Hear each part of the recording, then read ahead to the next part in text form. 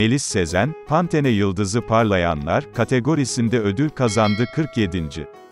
Altın Kelebek Ödülleri törenine oyuncu Melis Sezen'in ödül aldığı sırada yaptığı konuşma damga vurdu. Sezen, ödülünü alırken, bunu tutuyorum çünkü elimde şu an. Çok heyecanlıyım, dedi. 47, NCİSİ düzenlenen Pantene Altın Kelebek Ödülleri, Zorlu PSM'de düzenlenen törenle sahiplerini buldu.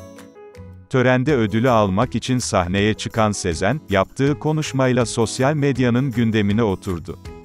Sezen, bunu tutuyorum çünkü elimde şu an. Çok heyecanlıyım, kusura bakmayın lütfen. Artık inmem lazım, ifadelerine kullandı. Bu sözler sosyal medyada kısa sürede gündem oldu.